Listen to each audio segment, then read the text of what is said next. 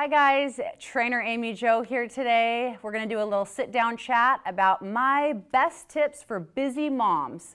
If you're trying to get into fitness, if you're into fitness and you're just trying to um, find more time, be more organized, uh, get more fit, but trying to juggle a family, um, right here, I'm the girl to talk to.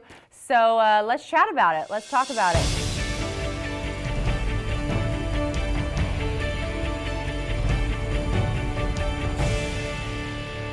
Uh, these are just my, my fitness tips, things that have worked well for me. Um, so take it or leave it, but I think it's also great to just share amongst other moms. Um, so even creating this video was really important to me because I knew that other women would uh, comment on it and also share theirs. And I'm open to uh, hearing what you guys do as well. Uh, we can always have room for improvement, right? So uh, here's just a few of the things that I do. Um, you know, to stay organized within my family, not only schedules, but food and, um, you know, how do I simplify shopping, grocery shopping? Um, also, how do I fit in my workouts? How do I consistently get those in? Um, so uh, one of the things that I do is make a workout schedule for myself. So I think it's really important to just schedule that time in. Um, and obviously there's gonna be days where you gotta go pick up your sick kid at school or um, you know, you have something else that comes up, work runs late, your boss needs more something out of you. Um, it's not always going to happen, but when you schedule it in, um, then you're able to really uh, hold yourself accountable and schedule in rest days as well. So if you feel like uh, this day, you know, I've got to get my kid to soccer practice or basketball practice. I have to work all day. I've got to do this. There's no time usually on a Friday uh, then schedule a rest day and just don't give your, don't put pressure on yourself to get something in that day. Or it just becomes a day that's like, okay, I'm gonna get 10 minutes in right away in the morning and that's all, and, and then you're okay with that. Um, so plan ahead and uh, schedule in your rest day. Um, that also can help. Uh, also, I enjoy having a gym that has a daycare.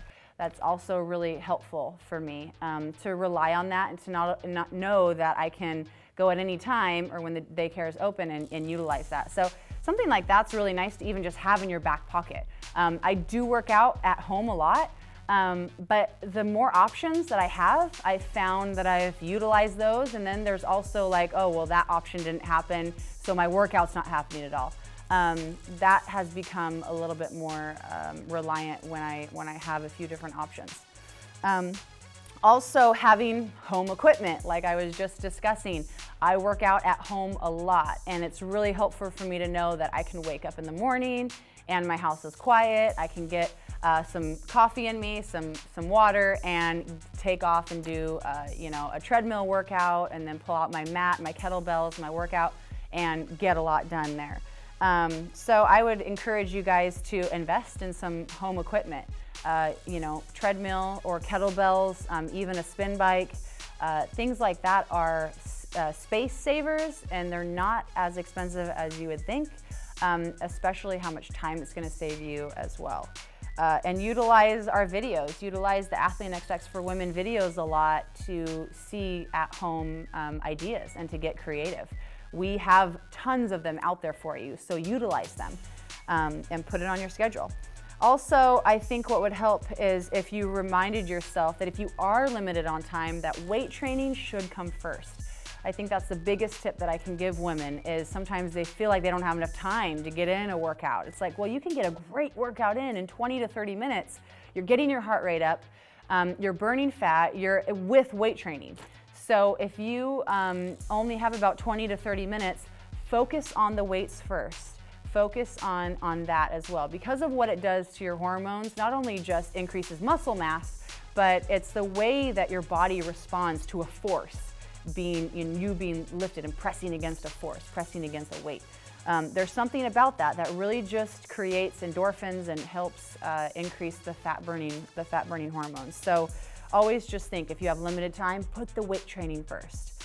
Uh, how do I organize my family? I think that one of the ways that I do that is I make sure that I wake up earlier than everyone else. That's probably something that's really worked well for me is we all go to bed at the same time at night, um, but I make sure to get up a little bit earlier than my family so I can get lunches made, Um, I can create my mental checklist for the day. Who's picking up who when? Um, who has lunch today that needs to be made? I can make my own lunch and my husband's lunch. Um, and, uh, and then kind of even think about and scheduling for dinner as well. What's going to be uh, on, the, on the dinner list. So sometimes you have to go day by day. You know, this idea of meal prepping on Sunday, that's ideal and that's in a perfect world, but we don't live in a perfect world and I think we put a lot of pressures on ourselves to be perfect um, that uh, sometimes you lose track of just being flexible as well. So I, like to have that little time in the morning to, um, to kind of do those things if, uh, if things aren't already prepared for the night or the day.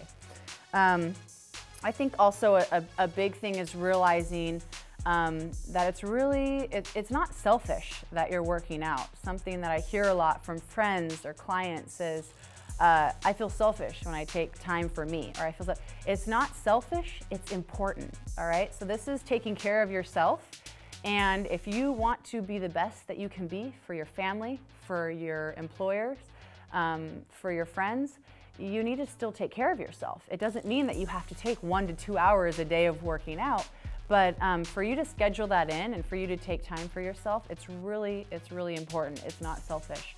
Um, so I would focus you, focus, put your focus in, uh, you know, maybe translating that if that's an issue for you, because I think that helps um, your outlook on how much you're putting into, you know, trying to find a workout. Because I think we're also, we also find ex excuses um, rather than finding um, solutions uh, to you know putting your health first. Um, and then one of my other uh, topics for my, my, other tips is an Instapot. I love an Instapot. Um, I cook with it all the time. Um, I got mine from Amazon. I think they're amazing. Um, literally chicken, fish, you can boil eggs and in like zero to crazy minutes. It's unbelievable. It's really time efficient and it comes out really well. So um, you can take a frozen chicken or a frozen steak and um, it's like you cooked it all day in an Instapot. So that's another uh, tip. I use a lot of that home um, for, for cooking things. So there's a few of my ways that I like to stay organized, um, how I fit my workouts in, and also a few things of how I uh, cook in my, in my kitchen and, and my, favorite, my favorite way to do that. Uh, comment below. I'd love, this is like a great way for us to be sharing tips with other moms. So let's start the conversation and let's start um, encouraging and giving other moms other ways to uh, be creative, be organized.